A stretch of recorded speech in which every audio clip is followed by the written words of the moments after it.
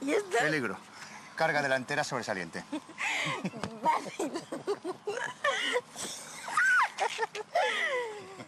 Tú y yo nos llevamos bien, ¿verdad? Uy, uy, uy, uy, uy. ¿A dónde quieres ir a parar?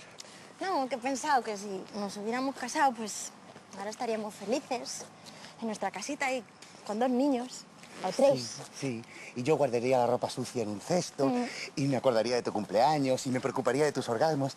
Lástima que yo sea una persona que piensa que lo mejor es que cada uno se preocupe de sus trapos sucios, que cada uno se preocupe de sus cumpleaños y de sus orgasmos sin darle el coñazo al de al lado. Mira, guapo, para empezar, si nos hubiéramos casado, ahora llevarías otra vida.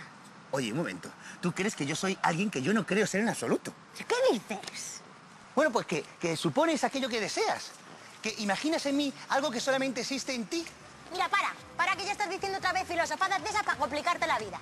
Al revés, intento simplificármela, no asumiendo responsabilidades a terceros. Pues ese es tu problema, porque huir de las responsabilidades solo es una manera sofisticada de complicarse la vida. ¿Ahora toca jugar a la pareja reprochadora? Quien se pica, ajos come.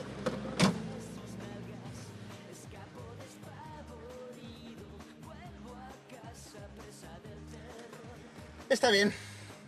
Ya que tengo que sufrir los inconvenientes de la convivencia con una mujer, me gustaría disfrutar de alguna de sus ventajas.